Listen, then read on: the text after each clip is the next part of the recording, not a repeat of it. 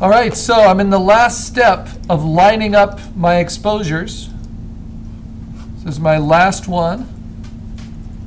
N- nudging it into place.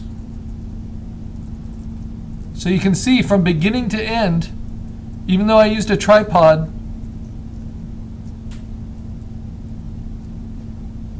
my subject matter moved quite a bit in the frame.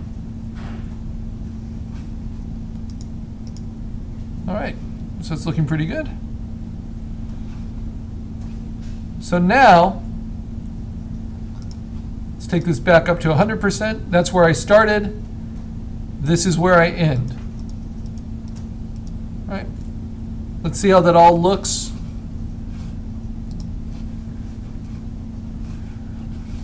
By going to the timeline, window, timeline, frame animation, make frames from layers, set them all to half a second, not five seconds, half a second, play it forever, get rid of that layer, reverse them. So that they play in the proper order, and then once they're all selected, I can turn my mask back on, right there. And the center of the, the mask is about there. I want that to line up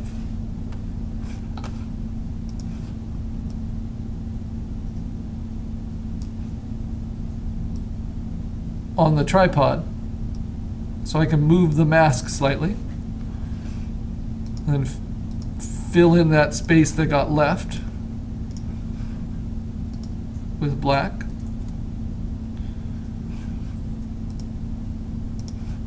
I can set my guides to match that by first selecting the space inside and then my guides will stick to that. So if that's the middle,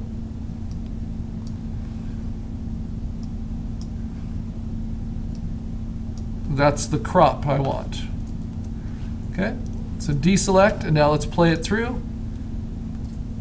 This is without any distortion. These are just my exposures lined up by, by hand. Okay, and I'm noticing something.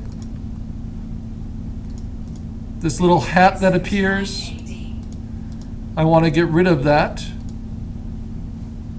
So 16 and 17, find out what layers they are. It's this layer and this layer. So I get rid of those frames, drag them to the trash, and then delete these two layers.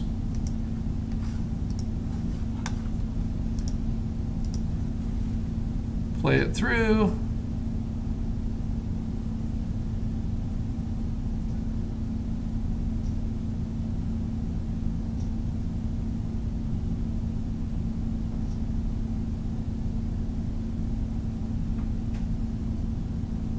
Yeah, I think that's working pretty well.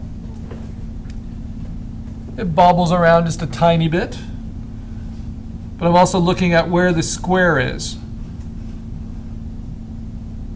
I'm pretty close to the top there, but I don't think it ever gets cropped off. And I'm very close to the bottom, so I've made it as large as I can within the, um, the frame. I also can question whether I want these final frames or not.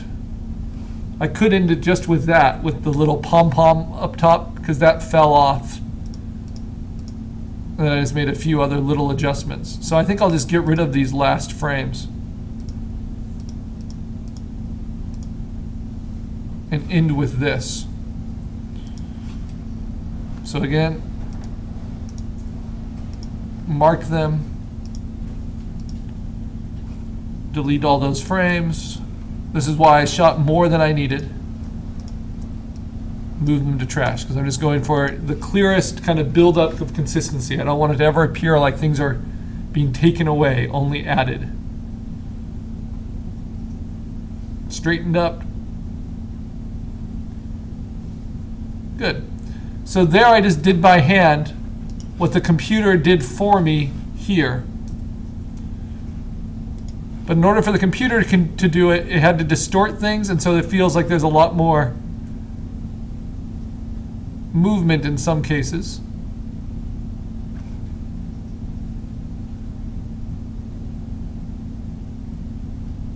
And everything's a lot taller here. And things, so I might as well go with this one just because I did it by hand.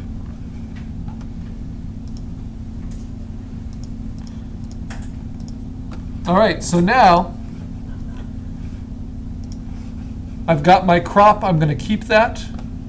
And so I use my guides, I use the crop tool, and I'm going to set my crop right inside that square. And that will cut through all of my layers of exposures like a cookie cutter, which is very, very helpful. All right, so everything's lined up, everything's cropped. Now,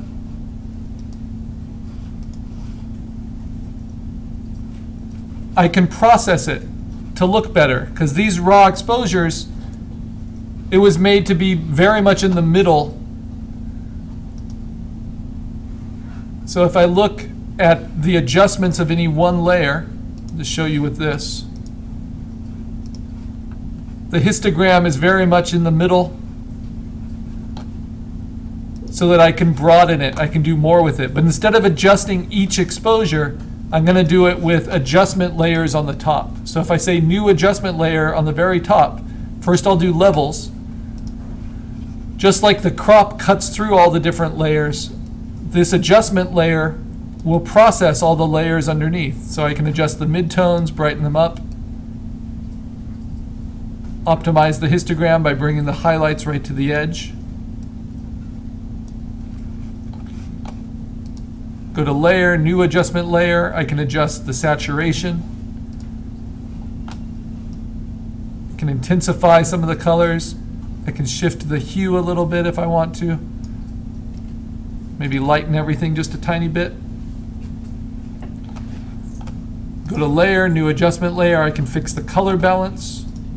This was lit with mostly with interior fluorescence, so it's got a lot of yellow that I can mix out of it to try to get to truer colors. Add a little bit of warmth to the highlights. Add a little bit of cools to the shadows. Looking a little cross-processed here. Not bad. I can even go to layer, new adjustment layer, and go all the way to channel mixer.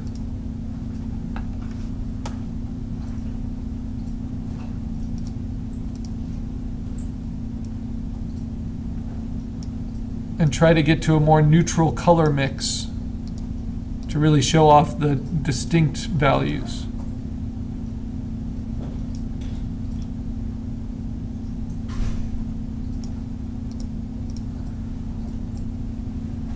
There we go, that's helping. Remember Channel Mixer, a very powerful tool. And then layer over the top. You can add as many of these adjustment layers as you want and they'll affect everything underneath. I can go to hue saturation again. I can just take the reds, darken them a little bit, saturate them a little bit.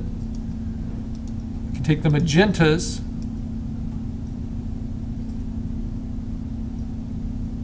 brighten those up. I can take the yellows, brighten those, saturate them a little. And I can take the greens and do the same thing. So you have a lot of control, even though we're editing multiple layers at once here.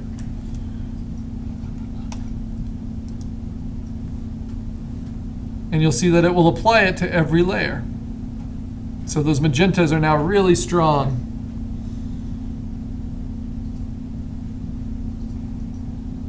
And the yellow and the reds. Yeah, and everything looks more balanced. Maybe over the top of everything. Let's pause it here. Do levels one more time.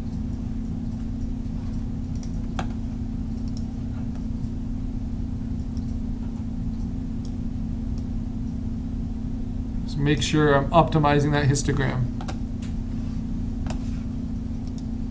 And it feels like I've gotten a little bit too, too magenta, so I'm going to go to another version of color balance.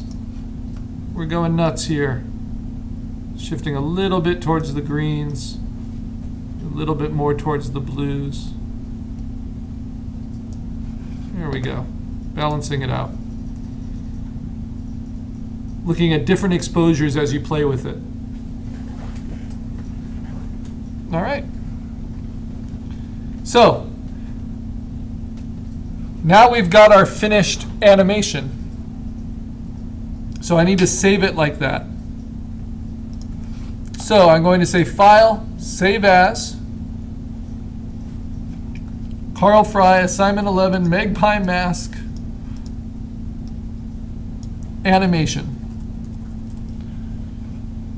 This is a PSD file at full resolution, but I cropped it down. So let's look at what its image size actually is.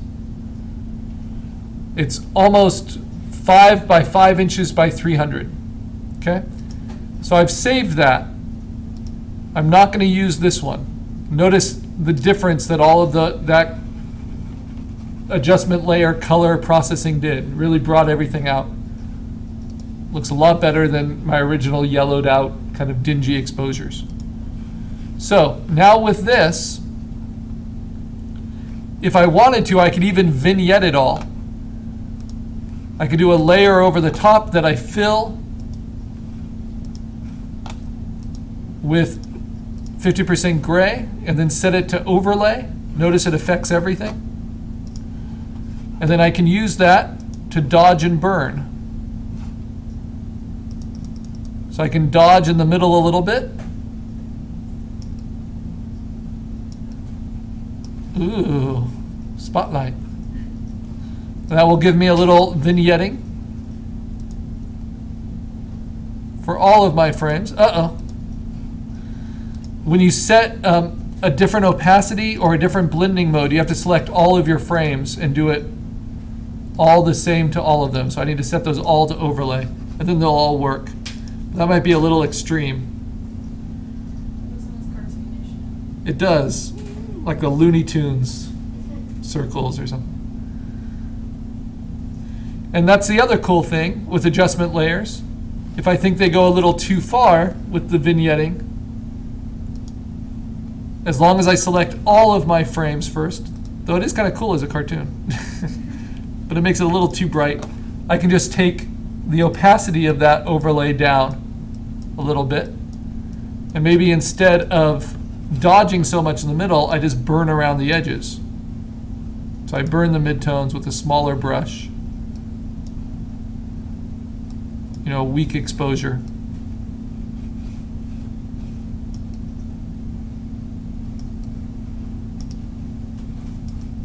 And that will help focus the attention to my subject. And it will treat all of the exposures the same around it. See how that looks.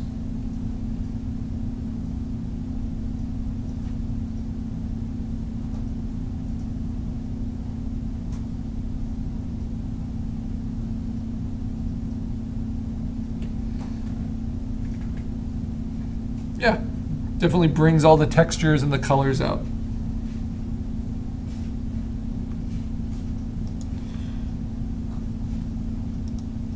Now it's a 48 opacity there. Here it's 100% opacity. So let me select all of those, make sure it's at 48 for all of them.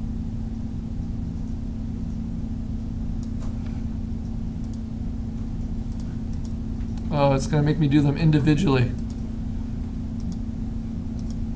Okay, that is not worth it. Instead, put them all back to 100